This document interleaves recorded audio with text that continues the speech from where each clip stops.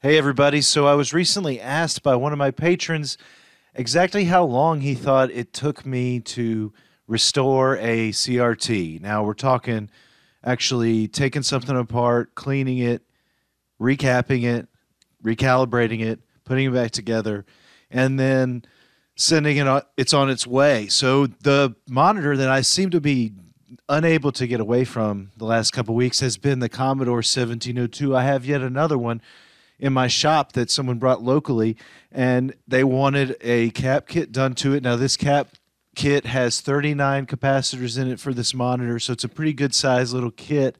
It's not huge like a PVM or anything, but uh, this is kind of a standard CRT that would be more on the easier side to recap and service as compared to something a lot more complicated like a PVM or BVM that would have probably this many caps on each circuit board and then it would have four or five circuit boards.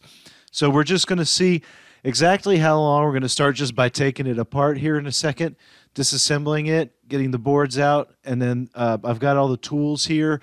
So we'll be ready to go. I'll set up a stopwatch and have a couple cameras going and we'll zip through this thing. And the point here isn't to just you know go through this and do it as quickly as possible. I want to kind of time this to see how long it takes this uh, job to be done in a quality fashion. So, all right, what I'm going to do now is we're going to switch over, look at the other cameras, and we're going to just get started. The stopwatch will get set up, and again, so I'll I'll record each segment and time each segment, and then at the end we'll we'll put each segment together and see how long it took the entire job. So let's go ahead now. We're going to get started. I'm just going to go ahead and sit in here. Now let's get started. Just going to start by taking our screws out, going from there.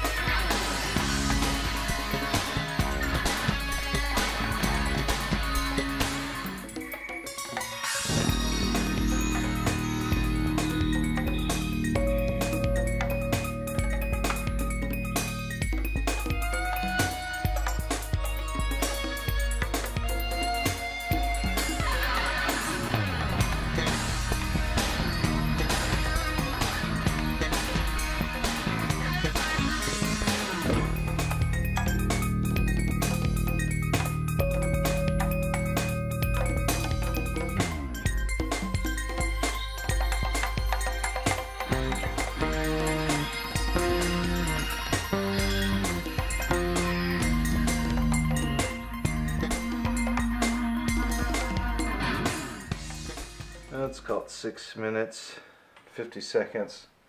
All right, so it took a total of seven minutes for that first section. Well, six minutes and 50 seconds to be exact. But we've got the chassis pulled, the main boards pulled. This is what we'll be servicing. There's only, since I've done this thing so many times, there's only one more piece we need to really be worried about to get in and service that. And that's this little slide bar down here on the side and it's just held in with a couple screws. And that way we, we don't actually have to take these boards out of this frame while we restore it. But the issue with this one is it's just it's really dirty. It's got lots and lots of dust and dirt built in it and it smells like it's got some uh, cigarette smoke soot in it, so it's it's probably been in the house of a smoker. So that's another. That'll add another little bit of time that we normally probably wouldn't have uh, time cleaning it. I'm going to show you some points on this board where you can really see just some excessive buildup of dust and soot and that's that's really what happens when you smoke in these things. So especially like in this back area where our potentiometers are. Okay, so there's a whole bunch of stuff down in this area. See if the other camera will show it any better. Just lots of soot, and that's just beyond what we'd call regular dust. That's definitely got some tar and cigarette buildup in it. So we need to really clean this thing off before we start servicing it. So that's going to take some time. Let's go ahead now and set up the timer and we'll dust off this chassis and clean it up and then we can start removing the capacitors. Alright, so I've taken just my brush and brushed all that soot and stuff off everything. And um, since this is a pretty simple circuit board, it's safe to use, you know, just an old horsehair non-conductive brush that's not going to do any damage to any of the parts. And I don't have an environment out here that's conductive to a lot of static electricity. However, that's something that you should be aware of when you're using brushes to dust. That there are some people that like to use anti-static or electrically neutral or safe uh, brushes.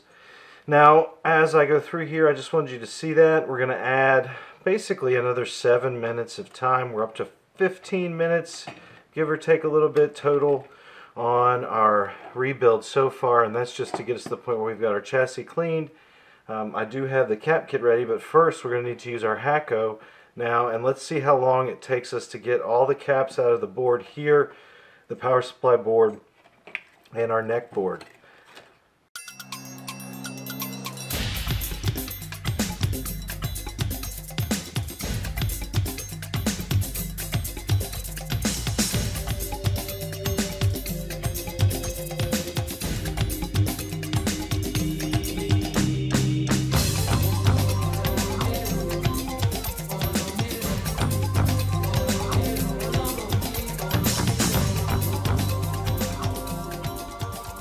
Right at about the six minute mark, my Hakko FR301 decided to get a real nasty clog. Now, I actually was forced to take a timeout and go clean the tool. It took about 30 minutes, but I'm not adding that time to this uh, procedure because it was obviously unforeseen. So, anyway, I did take a break here at about the six minute mark to clean that, and then I restarted the timer and got back to work.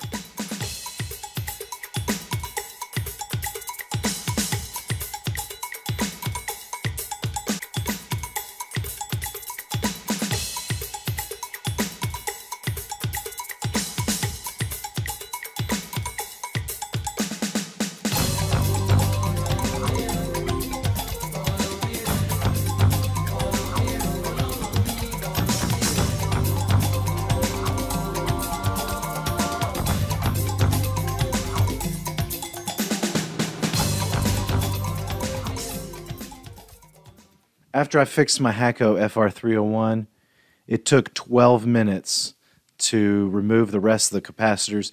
So if I add all that together, we're looking right at 18 total minutes to remove all 39 capacitors. We're going to start on our first section of our recap now. That's going to be our neck board and our power supply. So just five caps, and then we'll bust into the big board, which has 34 caps, and see how long that takes.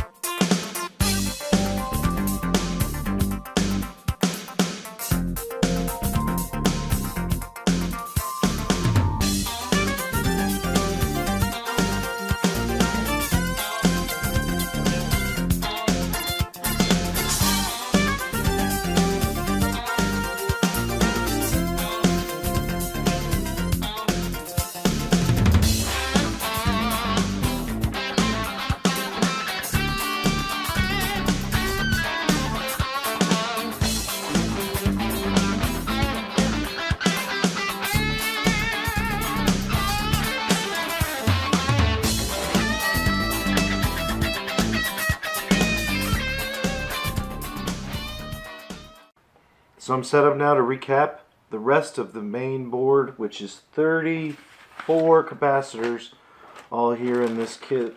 And I've left my clock, so we left off right at 12 and a half minutes. So let's just resume that and see how long this takes. We'll come back and see at the end what the finished job looks like and how long it takes me.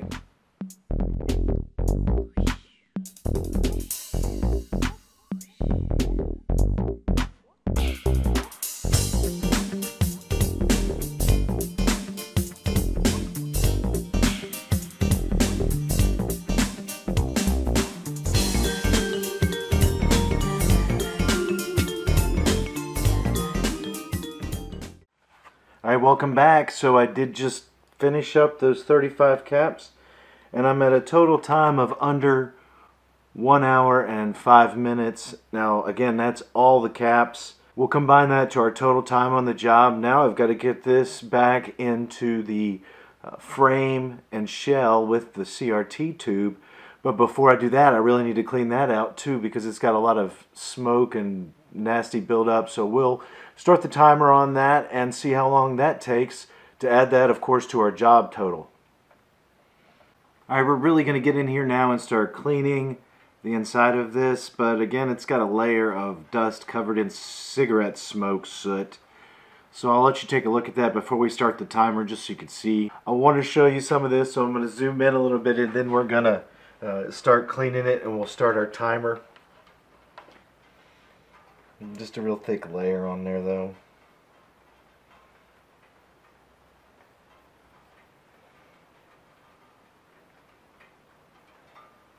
So I'm going to use a brush and just an old t-shirt here.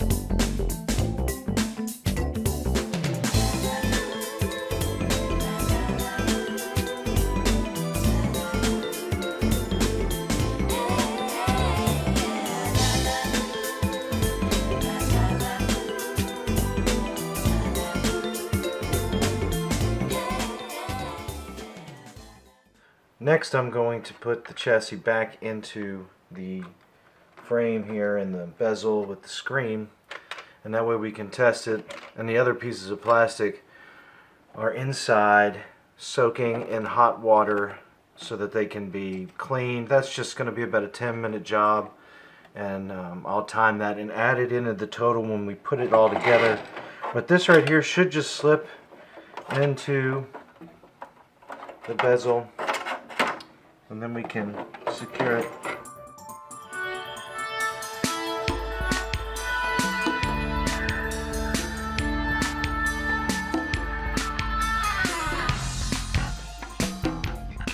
Now, the last things I'll do is add just a small bit of dielectric grease up here around the anode and tube and a little on the cap and that's just going to give it a little bit of lubrication and extend the life of those parts just you know without doing too much more. We're just going to do that. It's also going to make sure that we don't have any small bits of hair or dust in here that could make it crackle when it turns on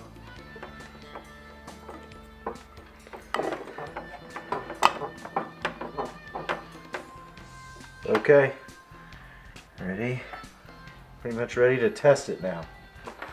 I'm gonna flip this around. I've got the Super Nintendo plugged in. First off, let me make sure it's on the front input. Let's hope it, it's all good.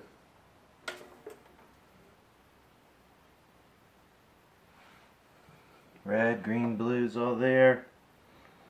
Alright, so it tests out great see everything, all the colors. The tube looks good. And what I need to do is calibrate it. But before I do that, I'll go inside and clean the rest of the pieces. Again, that should be about 10 minutes. And then we'll be able to uh, re reassemble the rest of the parts, start calibration, and finish this whole thing up. Um, again, right now we're sitting at, after I get done cleaning, about two hours in total time for everything. And you can see the S video input, or as we say, Commodore video is working, as well as our mono audio. All right, so this didn't need a whole lot of adjustment, just a little bit of vertical centering and vertical size adjustment, and that's pretty much it. That's a good thing about this monitor. It is, it seems to do really well after recapping and then a, a, a slight adjustment, generally speaking, and it always maintains a pretty solid picture.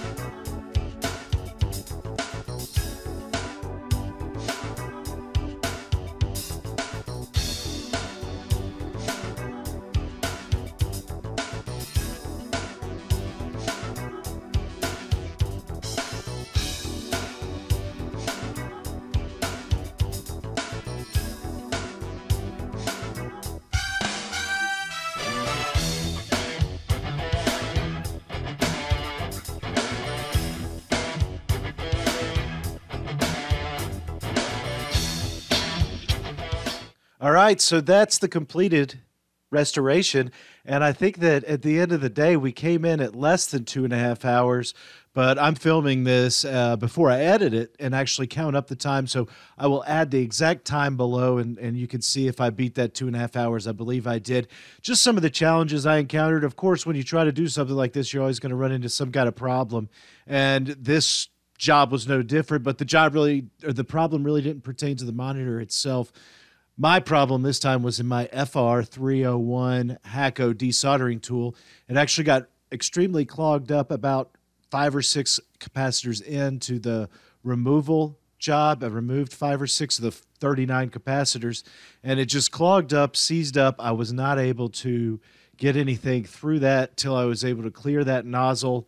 And that did cost me 30 minutes of time actually to clear that nozzle. I'm not adding that as part of the job because that's something that's not really part of the job. It is part of the job, but it's not part of the pricing for the customer. That's already got to be built in uh, for tools and things. So there's just something to think about. Anytime you try to do something, it seems like something will happen, but just stick with it. I was able again to clear that after about 30 minutes worth of work. Other notes on this restoration I did actually go and uh, discharge the tube and the anode cap the way you're supposed to with the discharge tool. I get usually some crazy questions. You're not supposed to do that while the monitor is plugged in. It needs to be unplugged first off. And you need to make sure that you're not touching any metal. Just use one hand when you're discharging it, but that's the official way you should discharge it.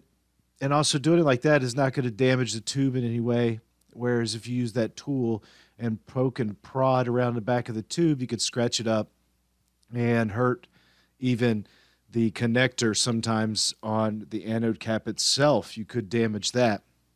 One maybe final note is the adapter I use for S video to get it into this. Um, I, I know some people have asked about that. This is just a simple circuit board that has a S video input and then it breaks it out to where it has ground and luma on this side and then chroma on this side and ground and all that basically does is separate those lines and it was on BNC for the other end of the connector so you know, you could make any kind of adapter you wanted to. All this is doing is breaking it out nice and clean like that. And then you could run BNC cables for this, which is what I normally do. Or in the instance here where we've got it on this monitor, we will uh, use that adapter to get into the Commodore video. But hey, that's it again for this beautiful monitor. And hopefully, maybe we could get on to something else besides a Commodore monitor because I have plenty of other things to do. And I'm not just typecasting myself all the time to do just uh, Commodores. But hey, I like them and they need to be worked on. And um, each approach that I make as a video will be different. So I hope you guys enjoyed this one. If you did, please leave me a like and let me know what you think with a comment below or any questions you may have. I appreciate you joining me, and I'll see you guys next time with some more retro content.